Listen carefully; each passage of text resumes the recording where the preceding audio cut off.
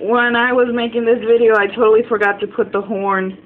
So, um, anyway, guess I'm gonna just add this to the other video. Don't mind me. Um, so you just kind of get some white, and then shape it like a cone.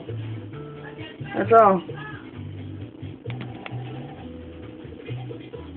And I like to um kind of squish the ends so that it's easier for me to place on top of here.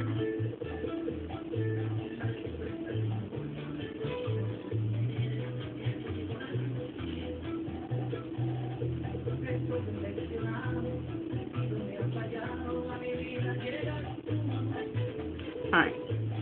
There.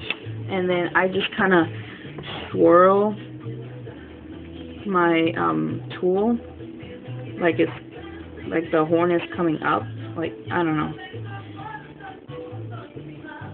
Just like to swirl it like if it's turned see and that's how you get the ridges.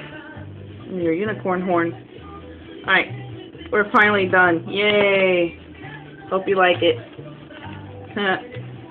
Thank you. Bye again